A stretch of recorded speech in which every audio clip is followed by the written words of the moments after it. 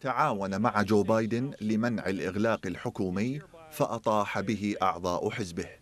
بهذه الكيفية تم عزل رئيس مجلس النواب الأمريكي كيفن مكارثي في سابقة تاريخية حيث صوت الكونغرس لصالح إقالة مكارثي من منصبه ليعلن منصب الرئيس شاغرا على أن يستمر صاحبه بتسيير العمل إلى حين انتخاب رئيس جديد للمجلس. 216 صوتا كان كفيلا بمعاقبة مكارثي بعزله من قبل متشددي الحزب الجمهوري الذين أثار مكارثي حفيظتهم حينما تعاون مع النواب الديمقراطيين لتمرير اتفاق مؤقت مع الرئيس جو بايدن بشأن الموازنة بهدف تجنب الإغلاق الحكومي المعروف ب X day.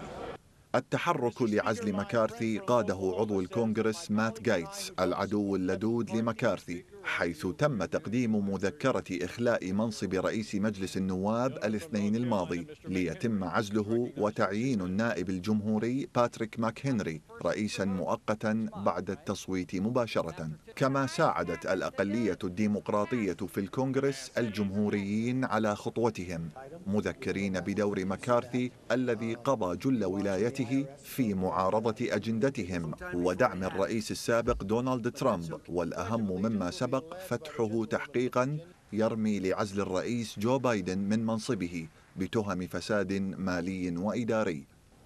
التصويت للإطاحة بمكارثي وقراره بعدم الترشح لمنصب رئيس مجلس النواب مجددا يمثل وفق مراقبين تصعيدا كبيرا في التوترات في الحزب الجمهوري الذي كان غارقا في الاقتتال الداخلي كما يأتي بعد أيام فقط من نجاح مكارثي في بلورة جهود من الحزبين الغريمين لتجنب إغلاق الحكومة في اللحظة الأخيرة.